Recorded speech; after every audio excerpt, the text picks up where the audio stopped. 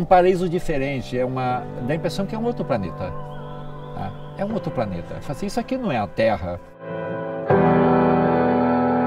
E lembrar que a gente é natureza, né? E às vezes são esses momentos no meio da natureza que trazem pra gente essa oportunidade da gente se conectar com a gente mesmo. Porque se você tem hoje, você vive isso, você observa isso e se sente feliz com isso, por que não futuro dos nossos filhos também?